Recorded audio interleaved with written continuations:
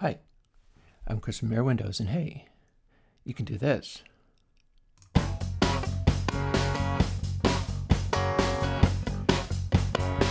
But wait, not just that. That's something I'm going to be bringing you going forwards. It's another project. Uh, move the microphone a little bit. What I mean is you can do this. Listen to the sort of chopping guitar. Try this.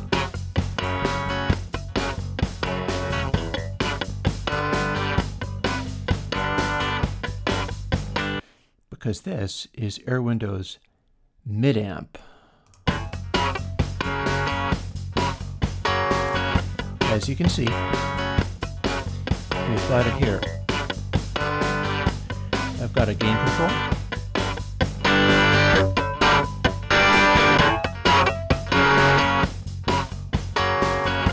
Got a tone control.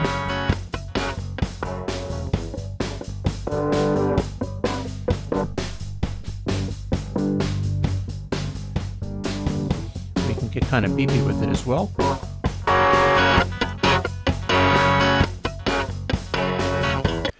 So the idea of this is Airwindows mid-amp is like, I don't know, a sort of Fender Twin or something. It is not a high gain amp, but it's there to have some body, depth, solidity, but also a real spiky, aggressive quality to the highs. It's not like Little Amp, which is meant to be like a little tiny amplifier. This one's meant to have some size to it, but it's still basically clean here's something that we can do as long as we're fooling around with um, these new samples. There's, I'll tell you a little bit more about this going forwards. You might also notice that my drums sound a little different now. But what I can do here is I'm going to option drag it over here if it lets me. There we go. And now I have the same thing on the bass.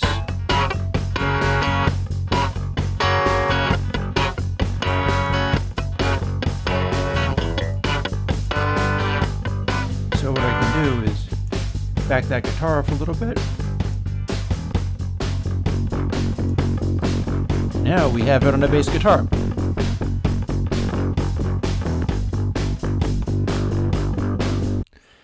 And of course, it's not really like a bass amp, but I do have the dry wet on there, so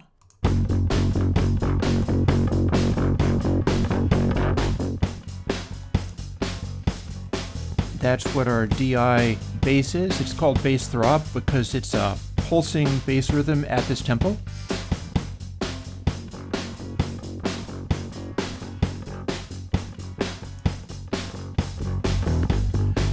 And we can add the cabinet style to it. Dial it back a little bit, more output. And that's a nice beefy tone for a uh, bass guitar. Speaking of tone,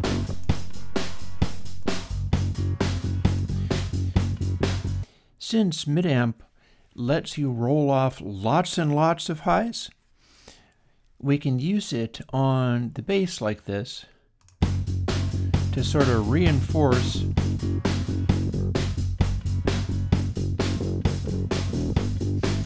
lows and combine it with dry for a real amp-like tone on that bass guitar, which is a DI guitar.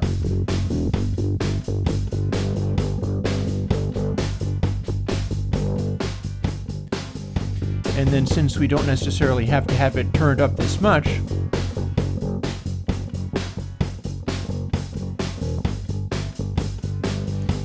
we can dial the gain back a little bit.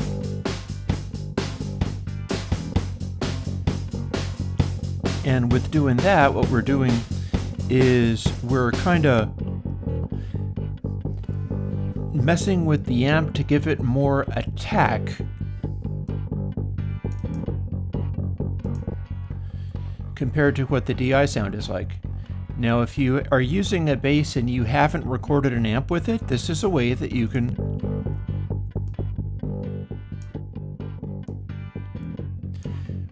get some of the sound, including really deep sounds, because it turns out it's able to do that fairly well as well.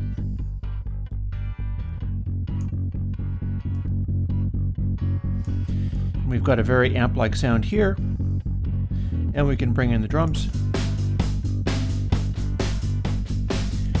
And now we've got a much heavier bass line than we had with the dry. Mind you, the dry still has something going for it. It's got a. am uh, playing that entirely with my thumb. And if that's impressive, you should hear what it's like when I am playing that on um, 150 beats per minute.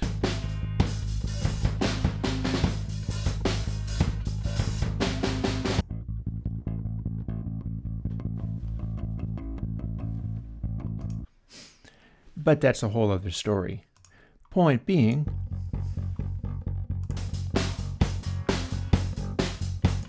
we can use midamp on just straight up a direct bass track to give it more of a amp-like quality.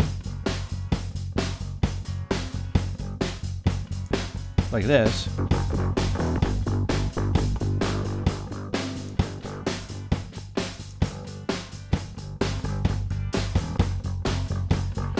That blends it with the uh, somewhat more impactful drums than usual. And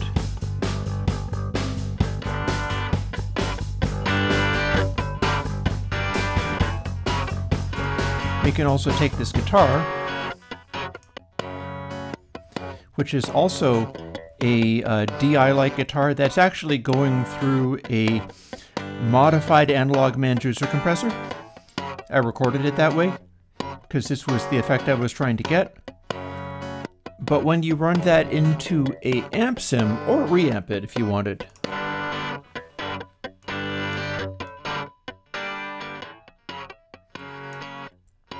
I get that kind of impact and clarity that I was looking for out of it.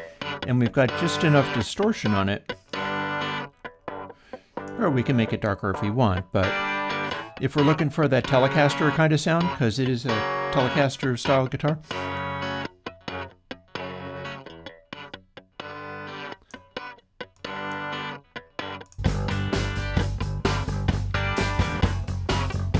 we can have it kind of sit and jump out nicely. So here we are, mid-amp on a bass and also on a Telecaster style guitar. Now if we wanted to add other stuff,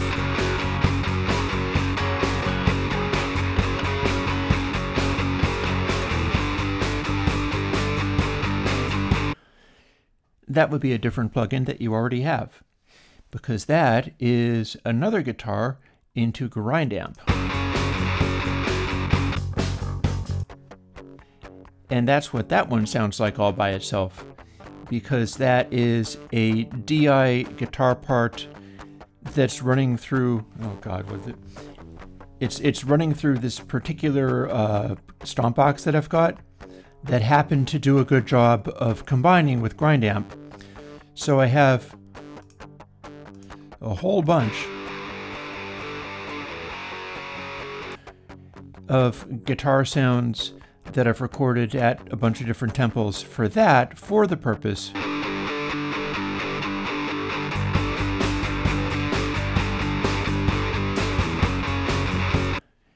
of making recordings and sample libraries like that.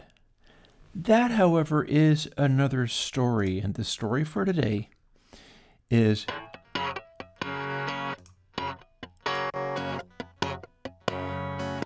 midamp.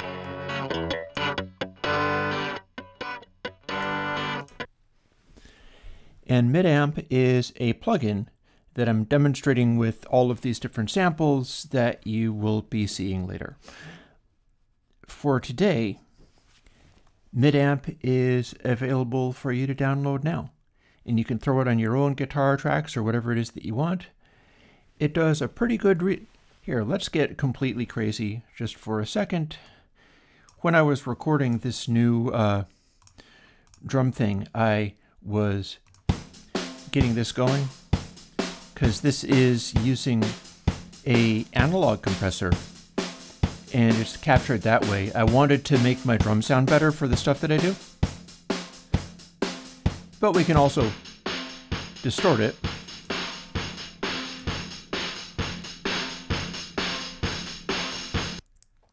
And throw a mid amp on the drums too.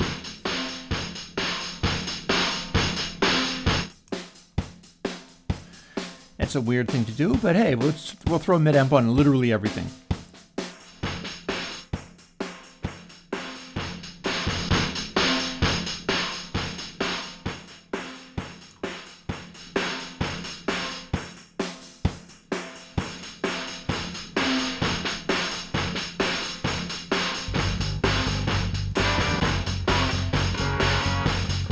So that's that's pretty hard.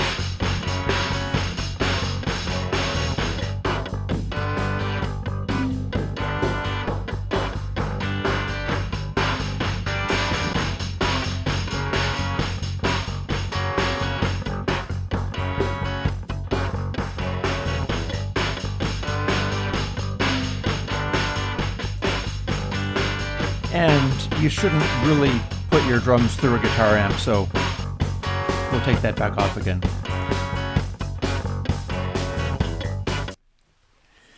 And that is granted a lot of other things besides, but that is Midamp. I hope you like Midamp. It turns out to have a bunch of interesting uses, and it's a good way of getting slightly dirtier tones out of your completely in the box recordings. I mean, this is such a simple mix, I'm not running uh, console 8 with this. This is just made out of Purest console.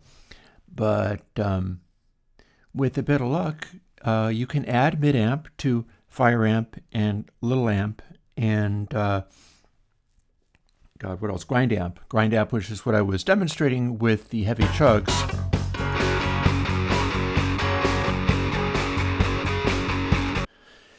And I don't have the sample libraries of those particular guitars out yet. Although what I do have, when I do have the sample libraries of those out,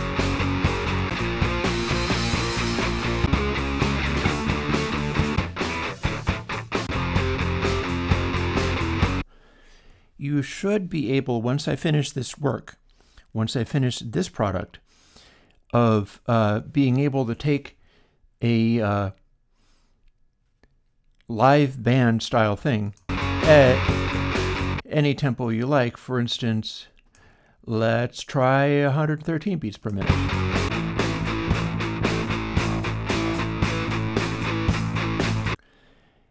and bounce around the power chords and things so that you can do uh, the stuff that I've been doing with the, the track Skronk is a sort of test bed for this kind of stuff.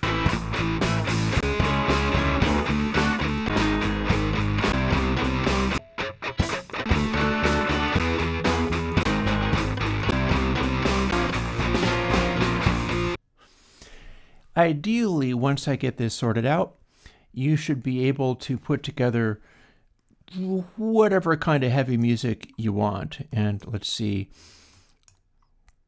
I'll flip this around a little bit so that uh, we have stereo guitars on everything and then go to about 140 beats per minute and you'll be able to put together something as a basic track kind of like this.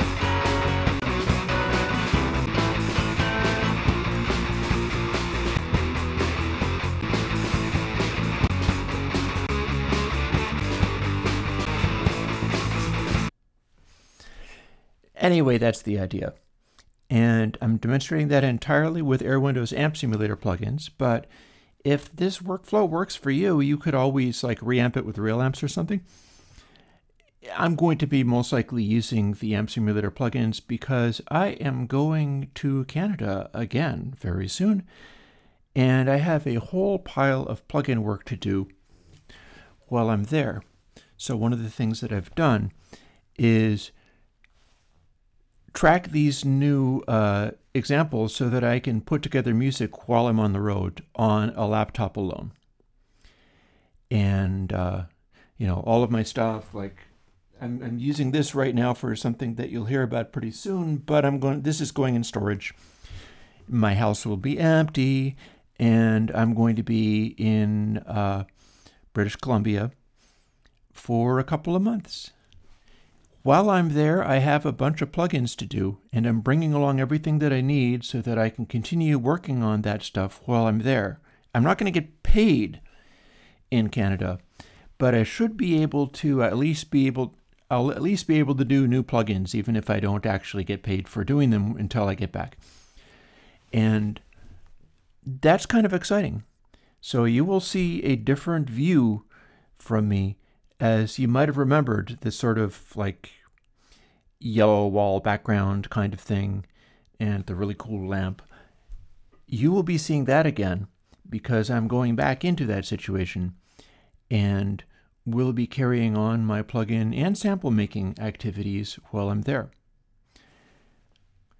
That's pretty much enough for now. For today, I hope you like Midamp. I think it is going to be useful to some people. And again, I'm not demonstrating it with uh, Console 8, I'm demonstrating it with Purest Console 2. But um, you can put this stuff together with the most recent version of Console and have a pretty darn respectable kind of big late 70s sound. The thing that I'm doing with the drums in this recent sampling session is more about getting a more adaptable kind of sound because as cool as it is to convincingly do the early 70s thing and have that actually happening, you can continue to go beyond that and cover wider bases by taking advantage of things like compression. And but that's for another day. For today, I hope you like Midamp. It is supported by my Patreon. My Patreon is what keeps me doing these things. Even if I'm not getting paid in Canada, it is what is letting me like find a family to have while also having my career and my business and this that I do. Uh, there will be more about that later. But for now, I hope you like Midamp, and I'll talk to you later. Bye bye.